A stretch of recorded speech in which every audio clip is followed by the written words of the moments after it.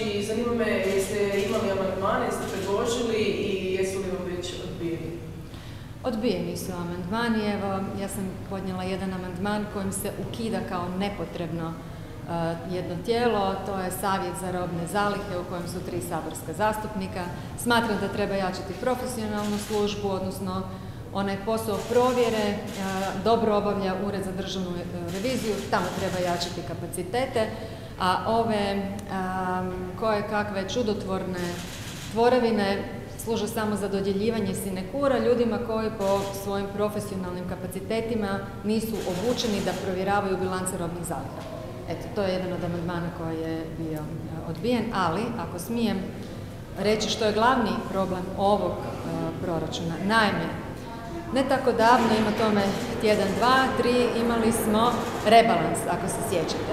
U taj rebalans podmetnuto je jedno kukavičje jaje, a to je iznos od 238 milijuna eura predviđenih za naknadu štete MOLu za gubitak arbitraže u Washingtonu.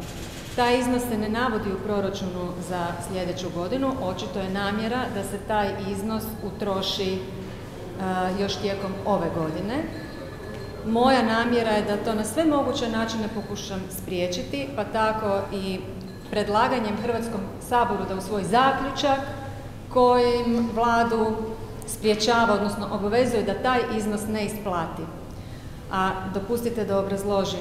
Predsjednik Vrhovnog suda pojasnio je da na temelju pravnog poretka Republike Hrvatske, koji je prisilne naravi, ugovori koji proizlaze iz kaznenog dijela su ništetni i to ništetni od trenutka njihovog nastanka.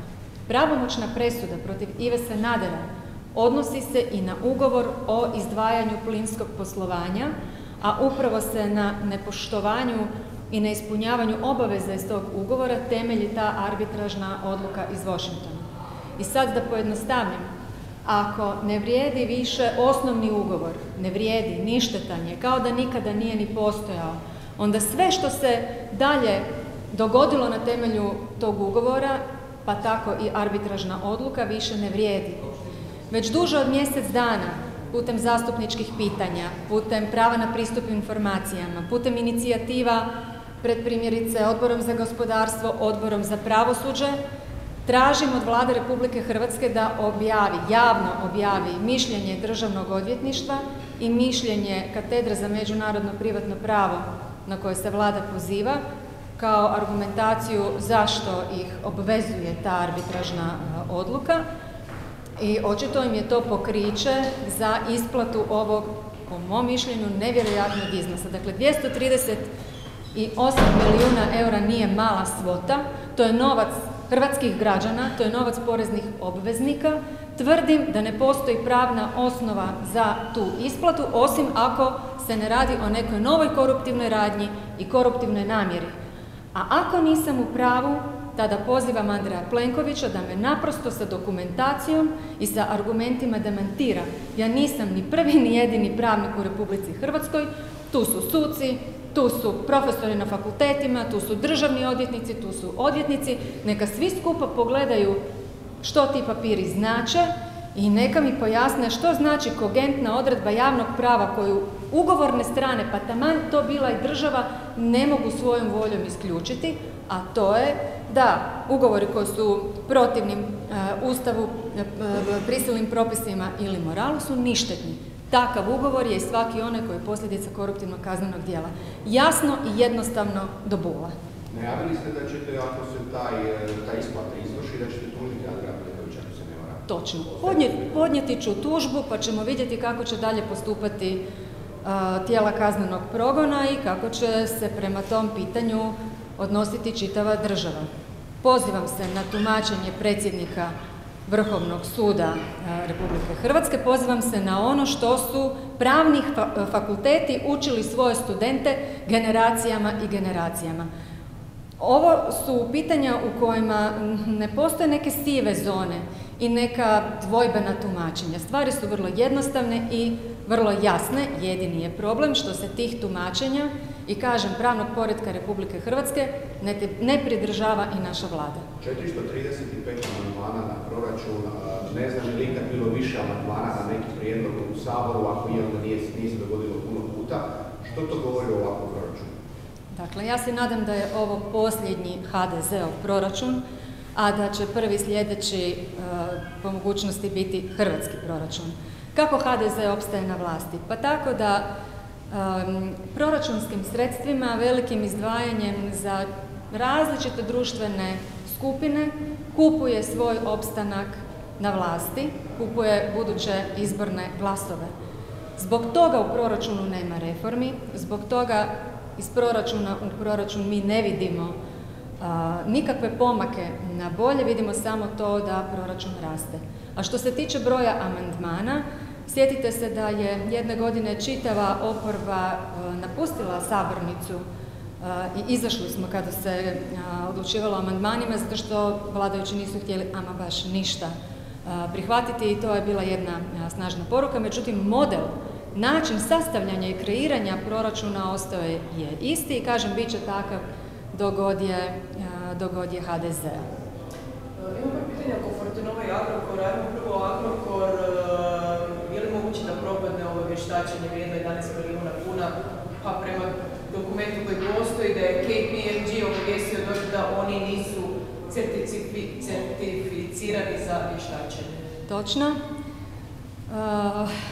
meni je zapravo žao što sam ja na ovaj problem ukazivala prije više od godinu i pol dana i tada sam također bila razočarana zato što u kritici uopće angažiranja KPMG-a mi se nije pridružio nitko iz pravne struke, niti od kolega odvjetnika, drugih sudaca, državnih odvjetnika, nije se čula riječ struke.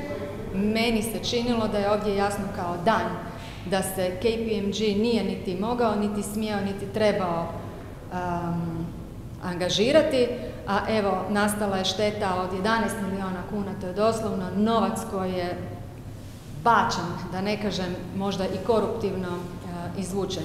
A što će dalje biti? E to je tek veliko pitanje. dakle, ne branim Ivicu Todorića, ne branim uopće način na koji je nastao njegov Agrokor kao koncern. Mislim da je tu bilo strahovito puno pogodovanja i propusta nadzornih mehanizama države. Međutim, način na koji je donesen zakon o Agrokoru, način na koji je Agrokor otet jednom privatnom vlasniku i dan u ruke drugom, je više struko sporan.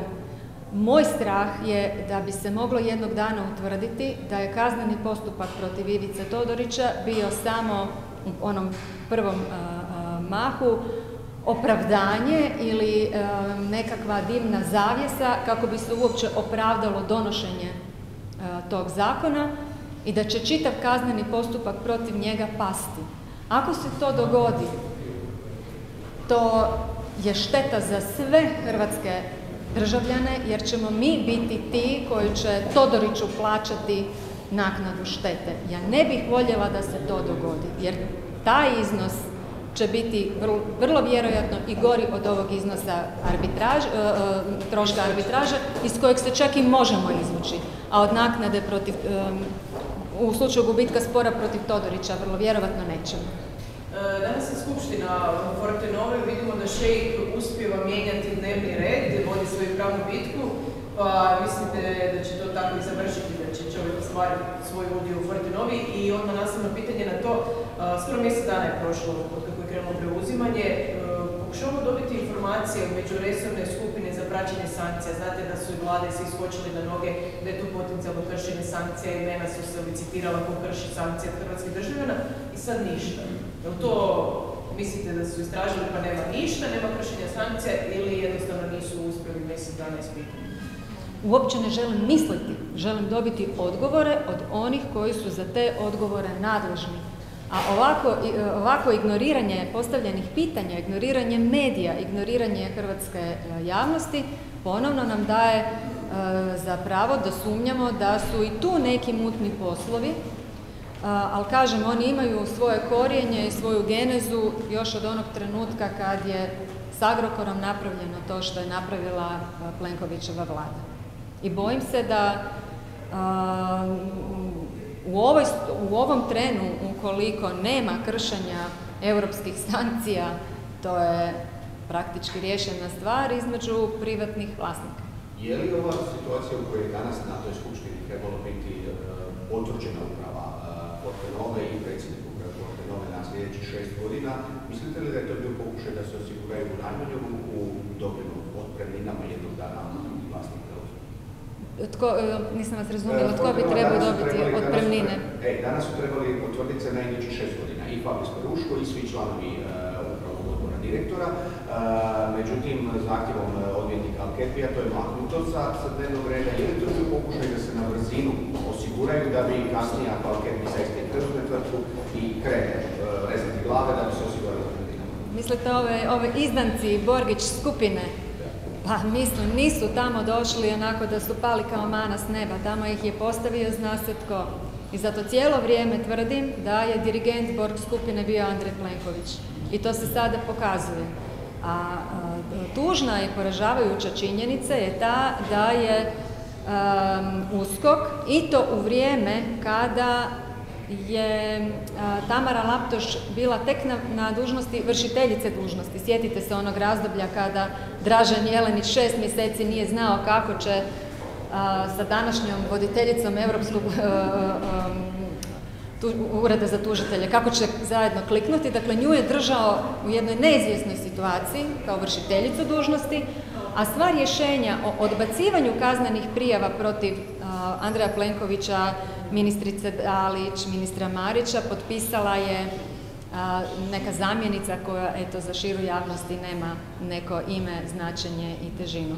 To već samo po sebi govori meni u prilog tome da ovim predmetima USKOK nije pristupio sa, e, sa dužnom pažnjom, trebao je u najmanju ruku otvoriti i istragu. Sjetite se, ja mislim da svi imate u svojim bazama podataka te iskaze, oni su u jednom trenu bili javno objavljeni, procurili su u, u javnost.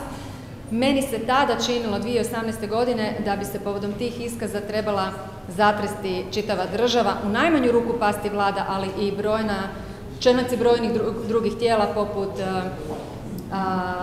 ravnatelja SOE, poput e, ravnatelja FINE, jer su svi obavljali poslove za koje nisu ovlašteni i nadležni, a neki su i dostavljali vladi informacije ispod stola mimo svojih ovlasti. Nije se dogodilo ništa zato što je USKOK pobjegao od svojih obaveza, zadataka i odgovornosti. Hoće li danas, sutra, povodom novih informacija i kada se promijeni politička vlast i volja doći do preotvaranja tih predmeta, to ćemo tek vidjeti, ali Andreju Plenkoviću u slučaju Agrokora ruke nisu čiste. Tema koja e, nije ovoliko teška kao ove do sada, ali nekime možda bitnije i proračuna. E, svjetsko prvenstvo je političari postepeno najavljuju da će sve ići. Imate li vi ambicije tako je vas interesira uopće Nemam takve financijske mogućnosti sredstva koje ostvarujem za, od plaće planiram danas sutra investirati u budućnost e, svoje djece. Svakome tko si to može priuštiti, ja želim dobru zabavu, a navijati onako e, iz srca za dobre rezultate naše reprezentacije mogu i od kuće. Možda samo kratko, u srijedu isto zanimljiva rasprava oko obuke ukrajinskih vojnika, samo kratko ste mijenjali stav na čije ste strani predsjednik ili a, mi smo čvrsto na strani Ustava Republike Hrvatske godinama, doslovno godinama upozoravam na problem ustavnih odredbi koje nisu dovoljno jasne i na činjenicu da se svi skupa pravimo glupi, gluhi i e, slijepi na to da se naša vanjska politika ne sukreira. Nedopustivo je da se bilo kome, pa tako i predsjedniku države koji ima svojih mana i nije bez svog tereta odgovornosti za neustavno ponašanje, ali još gore i Andreju Plenkoviću i njegovoj bahatosti, dopusti da na ovakav način u svoje međusobne sukobe uvlače Hrvatski sabor i nedopustivo je to jedno protuustavno ponašanje. Dakle, to uvijek šteti i ugledu i dostojanstvu Republike Hrvatske i stranka Centar u tome neće sudjelovati i naprosto neće dati legitimitet tome da se o jednoj neustavnoj proceduri u Saboru uopće raspravlja i o tome odlučuje. Hoćete li ostati upamćeni kao ona zastupnica koja nije htjela pomoć Ukrajini? A, prostite, To je jedna teška demagogija. Mi smo od prvog dana iskazivali solidarnost i u Ukrajini i njezinim stanovnicima i smatramo da Republika Hrvatska mora i treba pomoći onoliko koliko može. Međutim, mene su, a tako i, i moju kolegicu iz stranke, na ovu dužnost izabrali hrvatski e, građani i mislim da prije svega očekuju da branimo Ustav Republike Hrvatske i interese ove države i to ćemo e, u buduće i činiti. A kad ste već rekli hoće li me to svrstati na krivu stranu povijesti, ne, neće.